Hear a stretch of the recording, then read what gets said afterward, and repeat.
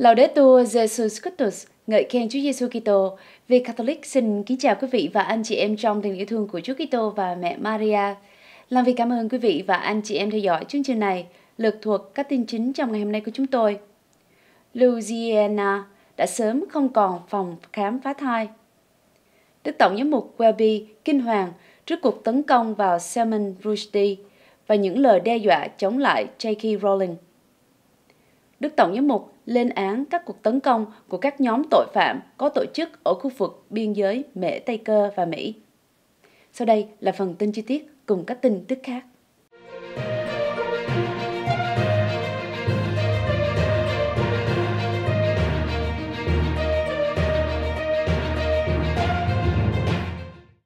Louisiana đã sớm không còn phòng khám phá thai. Ba doanh nghiệp cuối cùng trong tiểu bang thông báo đóng cửa sau khi tòa án tối cao của tiểu bang duy trì lệnh cấm phá thai nghiêm ngặt. Và rồi đây, không còn một phòng khám phá thai nào nữa. Ba phòng khám phá thai cuối cùng của Louisiana đã quyết định chuyển khỏi tiểu bang sau khi tòa án tối cao Louisiana hôm thứ Sáu cho phép lệnh cấm phá thai của tiểu bang vẫn có hiệu lực. Luật Louisiana cấm tuyệt đối việc phá thai và chỉ đưa ra các trường hợp ngoại lệ để cứu tính mạng của người mẹ nếu có tình trạng sức khỏe, thể chất nghiêm trọng hoặc nếu có dị tật thai nhi gây chết người. Việc mang thai do bị hiếp dâm hoặc loạn luân không được miễn trừ.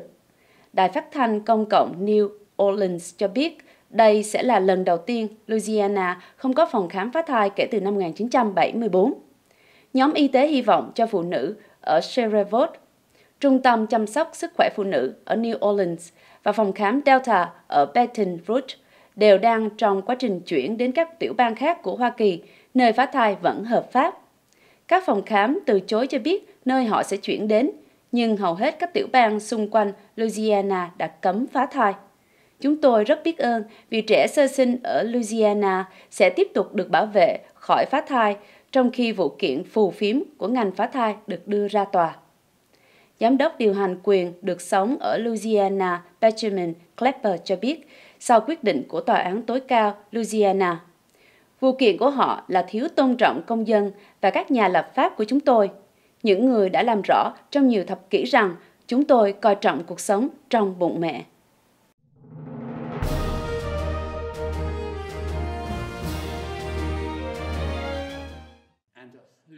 Đức Tổng giám mục Welby kinh hoàng trước cuộc tấn công vào Salman Rushdie và những lời đe dọa chống lại J.K. Rowling. Đức Tổng giám mục Canterbury đã bảo vệ quyền tự do ngôn luận sau vụ tấn công vào Salman Rushdie, người bị đâm liên tục trong một sự kiện công cộng ở New York hôm thứ Sáu, và ngài gọi những lời đe dọa về cái chết được thực hiện đối với J.K. Rowling sau khi cô ấy tweet ủng hộ tác giả bị thương là kinh hoàng. Salman Rushdie, một tiểu thuyết gia người Mỹ gốc Ấn, 75 tuổi, đã phải nhập viện sau khi bị một người đàn ông chạy lên sân khấu đâm nhiều nhát vào mặt, cổ và bụng. Tác giả vẫn bị thương nặng, nhưng sau đó đã không cần dùng máy thở và có thể nói chuyện lại. Ông bị tổn thương nghiêm trọng đến các dây thần kinh ở một cánh tay và gan và rất có thể sẽ bị mất một mắt, người đại diện của ông cho biết như trên. Một người đàn ông 24 tuổi, Hadimata, đã bị buộc tội cố ý giết người và vẫn bị giam giữ mà không được tại ngoại dù có các nhân chứng và toàn bộ vụ tấn công được ghi lại trên camera an ninh, anh ta đã không nhận tội. Salman Rushdie đã trở thành chủ đề của một số vụ ám sát thất bại sau khi xuất bản vào năm 1988 cuốn tiểu thuyết thứ tư của ông có nhan đề Những vần thơ của Satan, gây ra tranh cãi vì người Hồi giáo cho rằng ông xúc xiểm tiên tri Muhammad. Cuốn sách đã bị cấm ở một số quốc gia đa số theo đạo hồi và năm sau đó, một lãnh đạo tối cao của Iran lúc bây giờ là Ayatollah Khomeini đã ra lệnh hành quyết tác giả Salman Rushdie. Salman bị buộc phải lẩn trốn trong gần một thập kỷ. Khi tin tức về cuộc tấn công được đưa ra vào thứ Sáu, J.K. Rowling đã tweet tin tức kinh hoàng, cảm thấy ốm ngay bây giờ, cầu xin cho ông ấy ok. Một người dùng Twitter có tên Mia Asiasis đã trả lời Đừng lo lắng, bạn là người tiếp theo. Cảnh sát được cho là đang điều tra mối đe dọa. Đức Tổng giám mục Welby đã viết trên Twitter hôm thứ Hai. Thật kinh hoàng khi có những lời đe dọa đối với J.K. Rowling khi cô ấy ủng hộ Salman Rushdie. Các mối đe dọa và tấn công làm suy yếu quyền tự do mà tất cả chúng ta dựa vào đó để có thể bình luận. Tôi cầu nguyện và dành nhiều sự cảm thông cho cả hai.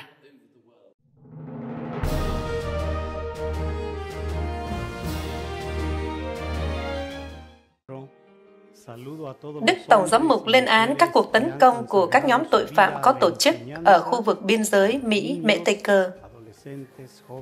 Đức cha Francisco Moreno Baron, Tổng giám mục của Tijuana, Mễ Tây Cơ, bên kia biên giới từ thành phố San Diego của Hoa Kỳ, đã lên án 20 vụ tấn công được thực hiện tại một số thị trấn ở bang Baja California. Đức Tổng giám mục đã đưa ra một tuyên bố liên quan đến các phương tiện giao thông công cộng do những người có vũ trang phóng hỏa vào chiều và đêm ngày 12 tháng 8 ở Tijuana, Tecate, Ensenada, Mexicali và Rosarito, các thị trấn nằm trên hoặc không xa biên giới Hoa Kỳ. Tôi lên án viễn cảnh đau lòng này làm tổn hại toàn bộ xã hội đang gánh chịu hậu quả của những vấn đề và phải tìm ra các phương thế giải quyết khác. Bạo lực luôn gây thêm bạo lực, Đức Tổng giám mục nhấn mạnh.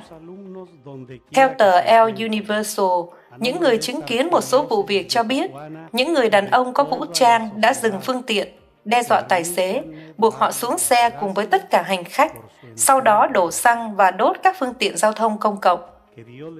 Động cơ của các cuộc tấn công không rõ ràng, nhưng bạo lực vô nghĩa có thể liên quan đến các cuộc chiến tranh giữa các băng đảng đối thủ. Trên Twitter, Thống đốc Baja California Marina de Pilar Avila Overa lên án vụ bạo lực và nói rằng một số cá nhân chịu trách nhiệm về các vụ việc xảy ra đã bị bắt. Điều quan trọng là phải bình tĩnh. Chúng tôi sẽ liên tục thông báo cho bạn. Moreno cũng yêu cầu mọi người bình tĩnh và được thông báo thông qua các phương tiện liên lạc chính thức hoặc đáng tin cậy, tránh các thông điệp sai lệch hoặc báo động và tạo ra các mạng lưới thông tin chân thực và hỗ trợ xã hội. Với hàng ngàn người không có phương tiện giao thông công cộng trên đường phố và đang cố gắng về nhà, Đức Tổng giám mục nói rằng, Ngài đánh giá cao và cảm ơn vì những nỗ lực đoàn kết với những hành khách bị mắc kẹt để giúp họ.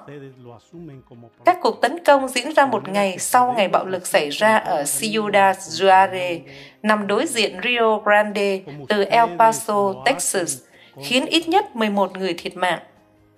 Sau khi bảo đảm rằng Ngài đang theo dõi chặt chẽ thông tin từ các quan chức tiểu bang và thành phố về các điều kiện an toàn công cộng, Đức Tổng giám mục Tijuana đã mời các tín hữu cầu nguyện lời cầu nguyện sau đây cho hòa bình ở Mễ Tây Cơ và ở bang Baja, California.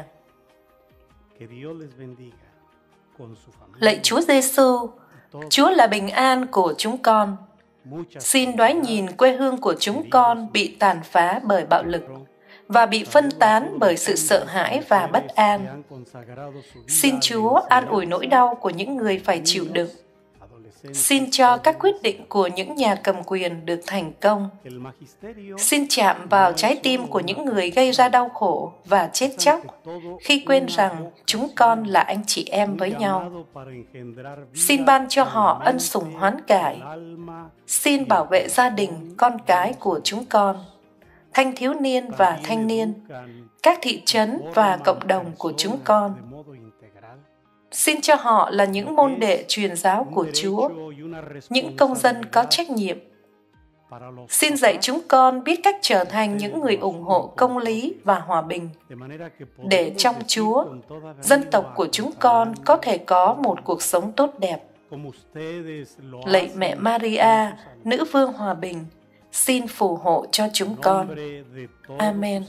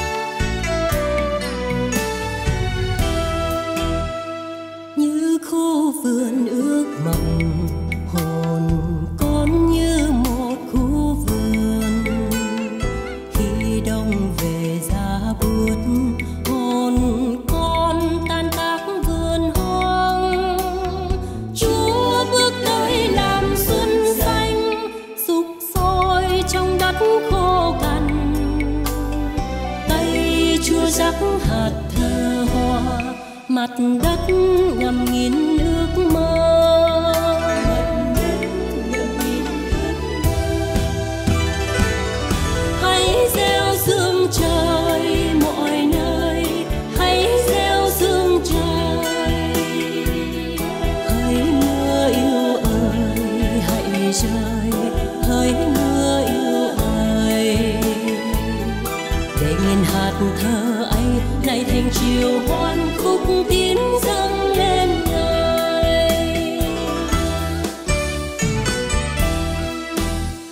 con mang nặng kiếp người.